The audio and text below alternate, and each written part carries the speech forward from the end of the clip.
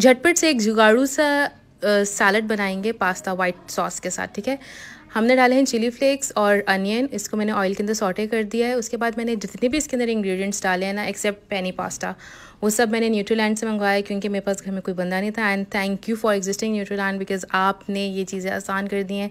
Fresh mushrooms fresh chicken then fresh vegetables everything I got from Nutriland और ये मेरे door step पर इन्होंने डिलीवर कर दिया था और दैट्स लाइक like, सबसे आसान तरीका था साफ़ सुथरे तरीके से आपको डिलीवर कर देते हैं। वाइट सॉस के लिए हमने लिया है बटर बटर के बाद हमने लिया है, उसके अंदर दो टेबल स्पून के करीब मैदा, उसके बाद मैंने सॉल्ट एंड पेपर डाला है। एंड सॉल्ट आपने अपना हाथ ज़रा हल्का रख के डालना है बिकॉज़ हमने वो वेजिटेबल्स में भी डाला है। ठंडा दूध डालना है नॉर्मल दूध नहीं डालना, वरना उसकी गुटलियाँ बन जाती हैं। सो दैट्स इट अब हमने सारा कुछ इसके अंदर टॉस कर दिया ये दो कप पैनी पास्ता था। And it taste it good do try this